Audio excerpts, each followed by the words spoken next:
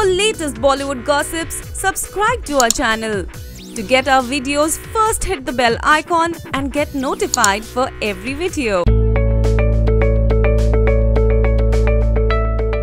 Race three के release में बस सात दिन और बचे हैं और ऐसे में मेकर्स हर मुमकिन कोशिश कर रहे हैं कि वो अपनी फ़िल्म को ज़्यादा से ज़्यादा प्रमोट कर सके। तो अब कई रियलिटी शोज़ और कॉन्टेस्ट पर प्रमोशन करने के बाद रेस थ्री की टीम फाइनली सलमान खान के गेम शो 10 का दम के सेट पर भी गई। और यहाँ के धमाल और मस्ती की पिक्स भी अब वायरल हो गई हैं। सलमान खान को शो के होस्ट के रोल के साथ साथ अपनी फ़िल्म को प्रमोट करता देखकर उनके डुअल रोल से हम काफ़ी इम्प्रेस थे।